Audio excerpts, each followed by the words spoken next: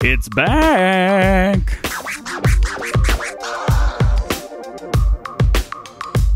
Heyo, what's going on, everybody? DJ GoHam here. Welcome back to the channel and welcome to new mods for Farming Simulator 19. Today I got 20 mods for you for all platforms. We've got 9 new and 8 updates. And for PC and Mac, we've got 3 new.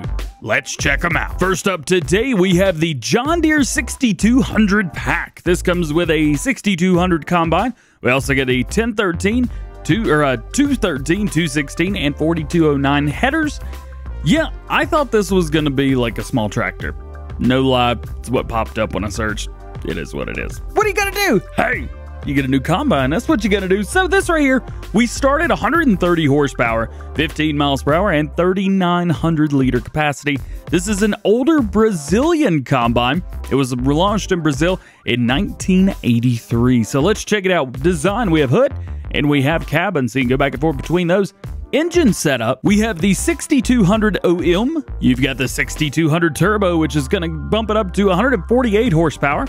And then you've got basically two different designs of that and then back to standard again. Okay, cool. So we get two different turbo designs right there. Not too bad. One of the turbo designs is a little bit newer. It was released in 1986. So there you go. Very, very cool stuff here. So you get this, and we get headers. So here's your first header. This is a 3.8 meter working width at 6 miles per hour. This is going to be your 213. Then if we go in, you've got the 216 as well. Now this one has said that it only supports the turbo version. So you're going to need that extra horsepower to run this bad boy. So don't get fancy. Use this only with the turbo version. It's 4.6 at 6 miles an hour and you get a corn header with it as well. Little chunky, but it is what it is. 4209. This is going to be 3 meter working with at 6 miles per hour and does corn and sunflowers. We've got the old Polish cow building. This is going to be an old cow building in a Polish style. Price is $40,000. Daily upkeep of $18 per day. Capacity is going to be 15 cows and is support for the manure system and is seasons ready. Next up is one of the coolest things I've seen if we can make something work. So this right here is the Lizard Kal3m. This is a 1400 liter capacity, 8 mile per hour fertilizer spreader. you heard that right. Three meter working width. It's going to drop it out the bottom and it will hold, uh, let's see, seed or uh, seeds. It'll hold sunflowers and seeds. No, it'll hold lime and solid fertilizer. Now, this would be a lot of fun if we could hook this up. I can't believe I said this.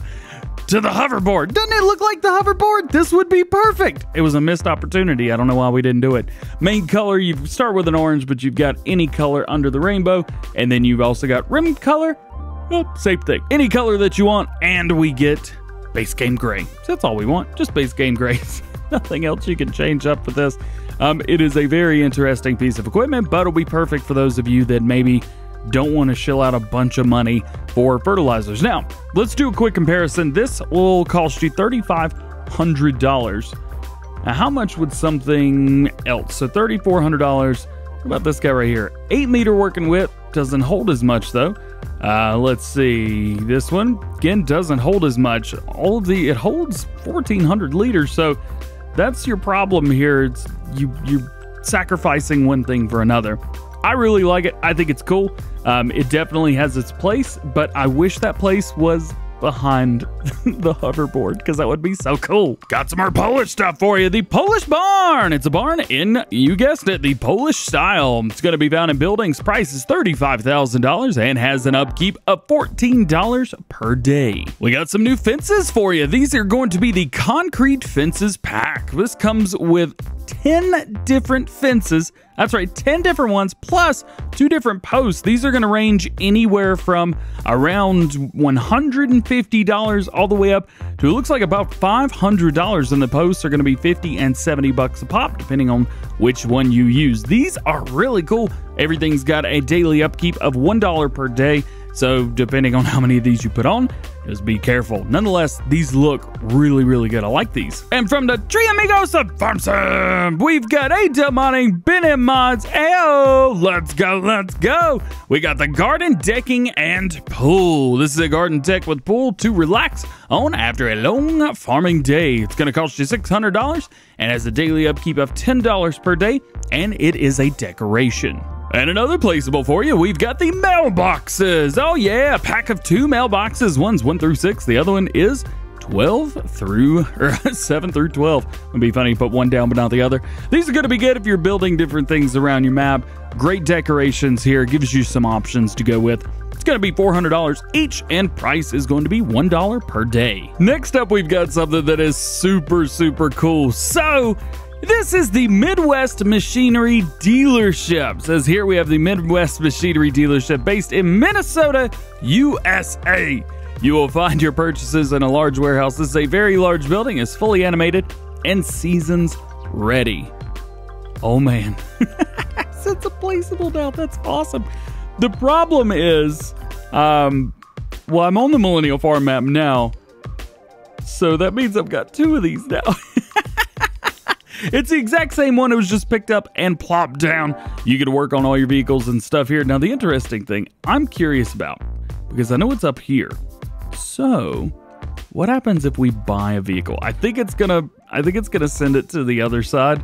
We got to get a John Deere, so let's get a let's get a six M right here. There you go. Is it gonna put it in here? Ah, I didn't put it in here, but I put it in the other one, which is a little bit deja vu, but it is what it is.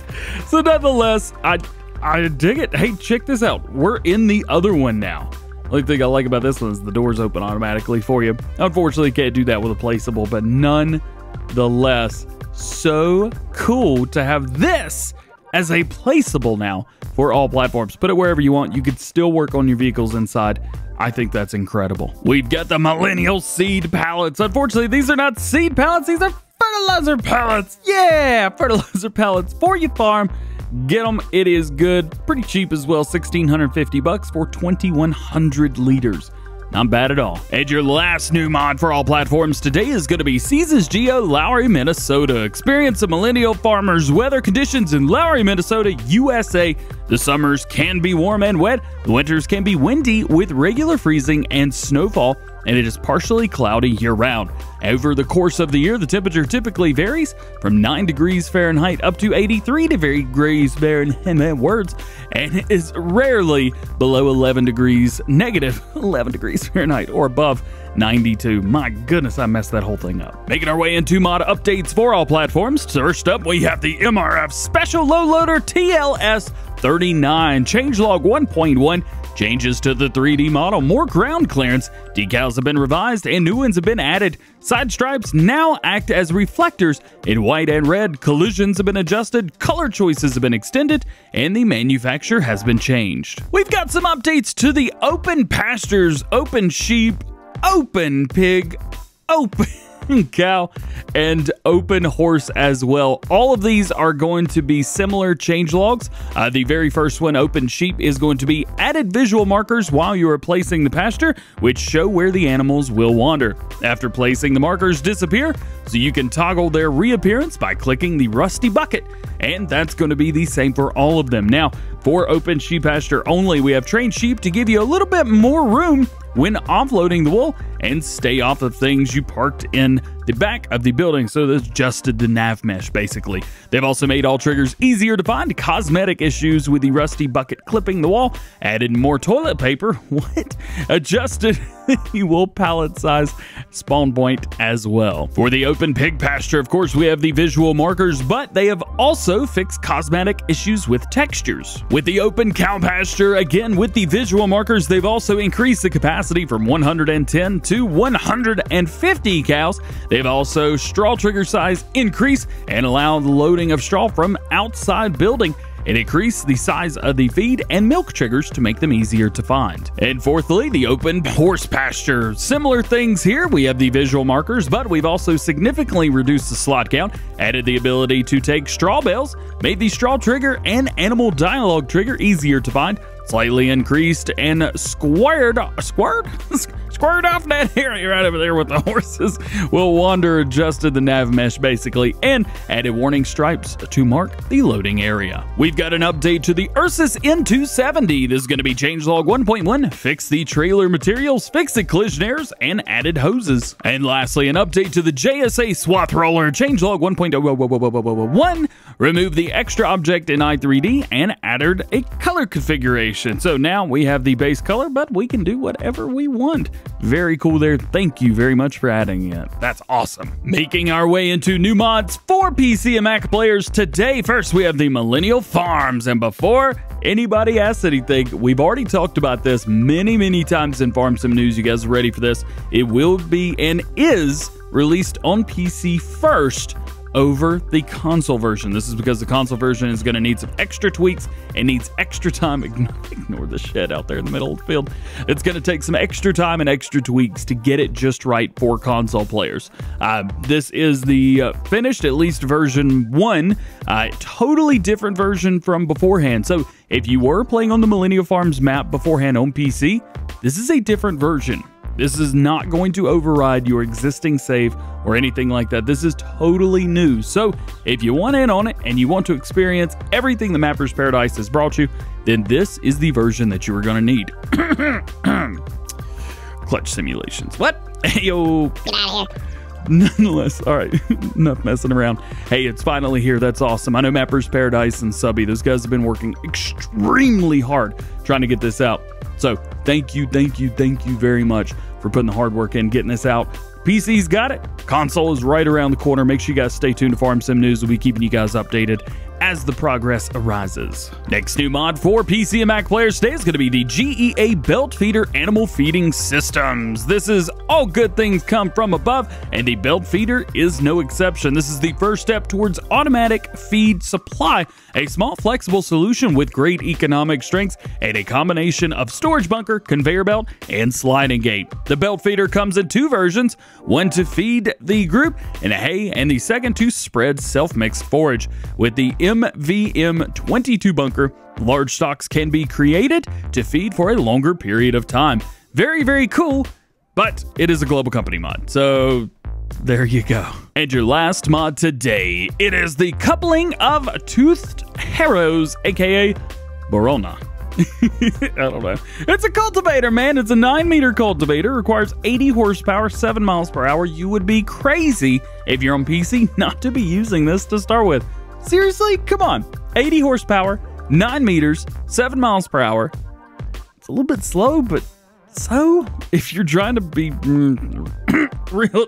Uh, Hashtag realism. if you're trying to do that, well, then this might be what you want.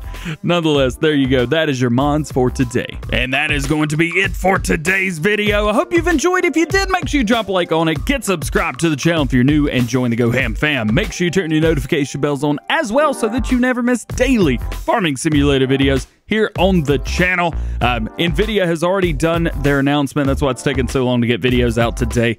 And yeah, your boy's getting a 3090. All being said, hope you have a great day. We will see you later. Peace.